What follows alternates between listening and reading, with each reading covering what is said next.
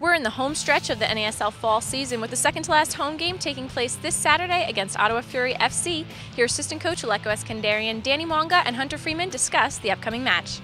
These past two weekends have been low scoring games. Uh, this past match against Indy with no goals. What does offense need to do to get back on track?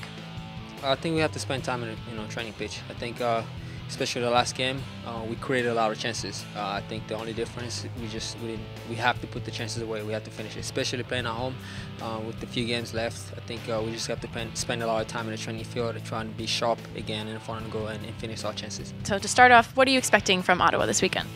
Uh, tough game. We we always have tough games against them. I think. Uh, we match up well with them, and that both teams try to play good soccer, and, and it's usually a pretty good competitive game. Uh, they're coming off a good result, uh, scoring a 90th minute uh, game tying goal against the, the, second place team. So their confidence should be high, and um, I think it'll be a, a, good battle and a good test for our, for our boys. Uh, nearing the end of the season with these last few matches against some particularly tough teams, how important is this win at home, both for the points and for the fans?